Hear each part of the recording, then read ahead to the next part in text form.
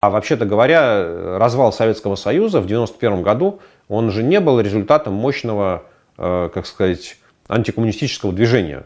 Да, Советский Союз развалился из-за того, что ГКЧП решил свергнуть Михаила Горбачева. И, собственно говоря, после этого вся политическая конструкция Советского Союза рухнула.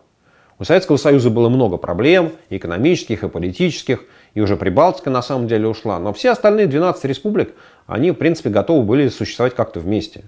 А, и а, вот изменение политического строя в России не стало а, вот таким же процессом мощного движения, как, например, в Польше или в Чехословакии, да, или, не знаю, там, в той же самой Болгарии антикоммунистического движения. Вот в Советском в Союзе такого всего не было. Вот, падение коммунизма, падение коммунистической системы в Советском Союзе, оно оказалось вот как бы сверху пришло. Люди получили ее, да, и не очень вкладывая, там, не очень большие усилия вложив в это дело.